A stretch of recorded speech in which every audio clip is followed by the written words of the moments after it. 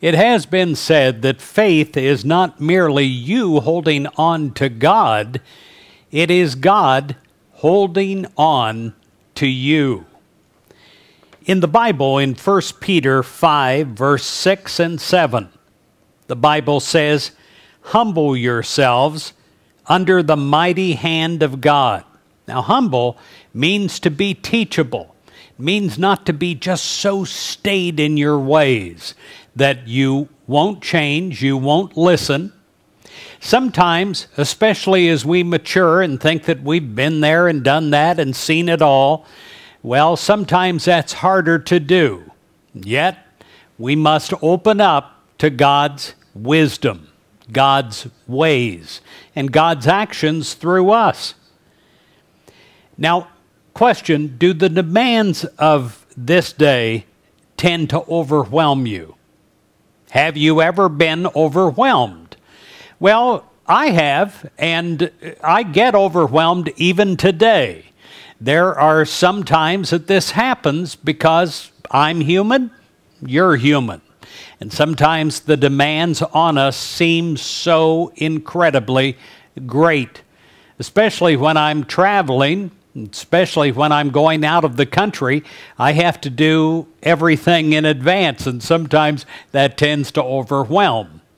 Whenever I get overwhelmed, I know that that's a signal to my human self that I need to go to God. That no matter how much I have to do, I need to go apart for a while. And that is completely opposite from what the human being wants to do. The human being wants to get in there and go faster and push more. Take heart, though, if you ever feel this way. You rely not on your own resources or your family or your friends' resources, but on God's resources.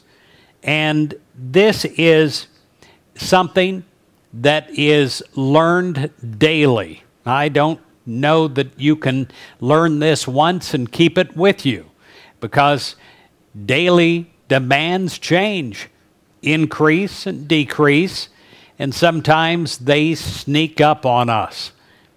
Well, God is your never ending support of courage, and God will be with you every moment when you remember to step back and to call upon God.